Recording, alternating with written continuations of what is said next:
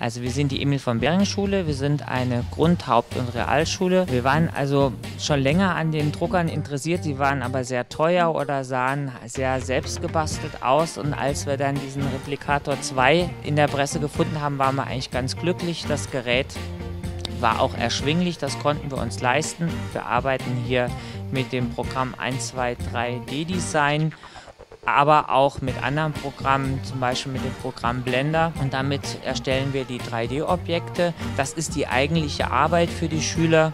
Und danach freuen die sich natürlich, wenn sie es ausdrucken können. Ich weiß nicht, ich finde es interessant, also das alles zu lernen, weil man muss erst alles verstehen, wie, der, ähm, dieses Programm funktioniert. Und ja, wenn man es verstanden hat, dann geht es eigentlich.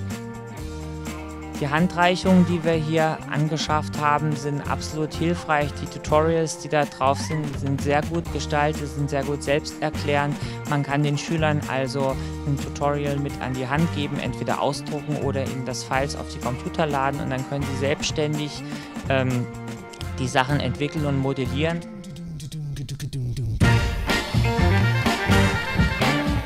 Das ist unser erstes Jahr jetzt, wo wir diesen 3D-Druckkurs laufen lassen.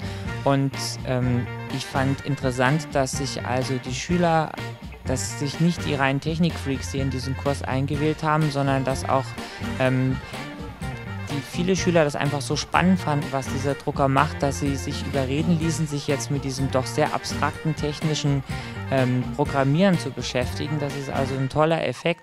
Ich habe im Fernsehen eine Dokumentation gesehen, da wurde bestätigt, dass man in 15 bis 20 Jahren sogar Essen drucken kann.